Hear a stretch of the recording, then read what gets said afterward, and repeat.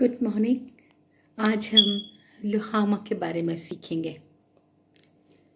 गोमर एक प्रोस्टिट्यूट थी, जो कि एक बहुत ही फेथफुल प्रॉफिट की वाइफ बनी, जिसका नाम होसिया था।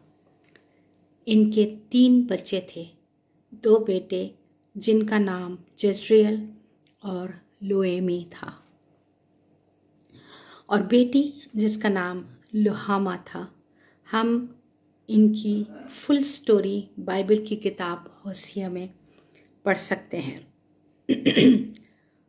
डॉक्टर लोहामा का ज़िक्र इस किताब में दो दफ़ा आया है। होसिया पहला बाब आठ आयत में पढ़े, जब ये बेटी पैदा हुई तो खुदा ने होसिया को कहा कि अपनी बेटी का नाम लोहामा रख।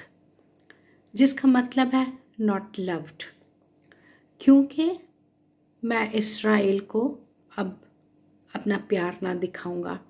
और यहाँ ऐसा महसूस होता है कि गोमर ने रोहामा को वो प्यार ना दिया जो एक माँ अपनी बेटी को देती है। क्योंकि वो हौसिया को छोड़कर अपनी बदकारी की दुनिया में वापस चली गई।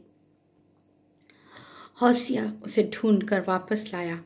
और लोहामा का बाप अपनी बेटी से बहुत प्यार करता था। और यकीनन खुदा भी उससे प्यार करता था, अगरचे उसका नाम नॉट लव्ड था। एक वक्त था कि इसराइली खुदा के फरमाबरदार थे और मुख्तलिफ़ नबियों के ज़रिए उन्हें तौबा की तरह और खुदा मुख्तलिफ़ नबियों के ज़रिए उन्हें तौबा की तरफ़ माइल कर रहा था। उसने हौसिया और गौमर के बच्चों के नामों को इस्तेमाल किया, जिनका नेगेटिव मतलब था। जजरियल का मतलब है गॉड सॉ, यानी कि खुदा अपने लोगों पर पनिशमेंट लाएगा। लोहामा का मतलब है नॉट लव्ड यानी खुदा इन लोगों को, यानी इसराइलियों को प्यार नहीं करेगा और ना ही उन्हें माफ़ करेगा। लोएमी का मतलब है नॉट माई पीपल कि अब इसराइल के लोग उसके अपने लोग ना होंगे। अगरचे लोहामा का मतलब है कि नॉट लव्ड लेकिन खुदा उससे बहुत प्यार करता था। जिसने उसे पैदा किया है। हमें इससे ज़्यादा कोई मालूम इस लड़की के बारे में नहीं मिलती हैं। क्या पता वो अपने बाप के नक्शे कदम पर चलकर उसकी तरह वफादार थी या फिर माँ की तरह बेवफा? We are not लोहामा to God Bible की ये सारी कहानी खुदा के प्यार की शिद्दत को बयान करती है। In spite of our faults and failures हम कितने ही उससे दूर भागें। खुदा ने बेशक हमारे गुनाहों से प्यार नहीं किया, लेकिन वो हमसे बे इंतहा प्यार करता है।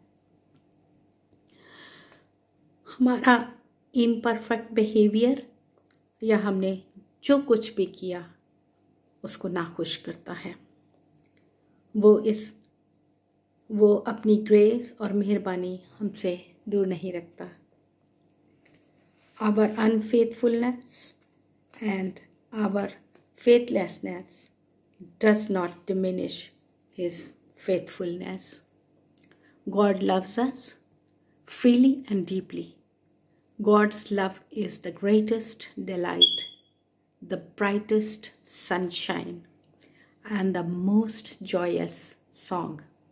खुदा का प्यार मजबूत और सच्चा है उसके लोगों के लिए जो कि गलीस शिकस्त खुर्दा और हारे हुए हैं हेडी बैकर का कहना है कि खुदा का प्यार इतना वसी है कि वो मेरी अंधेरी ज़िंदगी में रोशनी की किरण है। वो आया कि हम ज़िंदगी पाएँ और कसरत की ज़िंदगी पाएँ।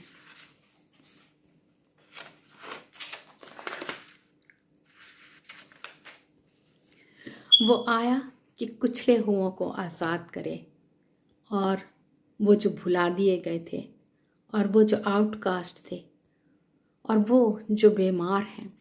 और यहाँ तक कि उसने उस मरते डाकू के लिए भी जो स्लीप पर उसके साथ था, उससे प्यार किया।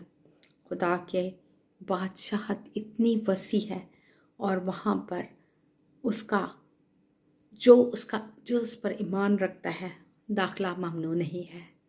खुदावंद, इस स्टोरी के बायस आपको भारी बरकतों से मामूर करे। अमेन